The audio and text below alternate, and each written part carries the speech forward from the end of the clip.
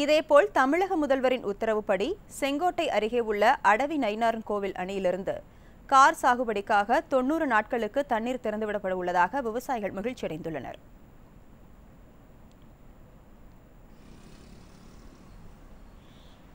மேலும் திருச்சி மாவட்டம் மண்ணச்சநல்லூர் அருகே உள்ள புள்ளம்பாடி வாய்க்காலில் பாசனத்திற்கு வினாடிக்கு ஐநூறு கனஅடி தண்ணீரை திறக்க திருச்சி மாவட்ட ஆட்சியர் எஸ். சிவராசு பொதுப்பணித்துறை ஆற்று பாதுகாப்பு கோட்ட திருச்சி செயற்பொறியாளர் ஆர். பாஸ்கர் ஆகியோர் திறந்து வைத்தனர்.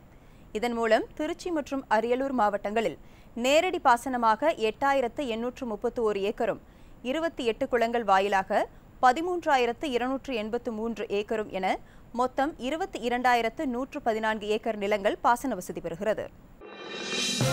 இது போன்ற முக்கிய வீடியோக்களை உடனுக்குடன் தெரிந்து கொள்ள நியூஸ் ஜே யூடியூப் சேனலை சப்ஸ்கிரைப் செய்யுங்கள்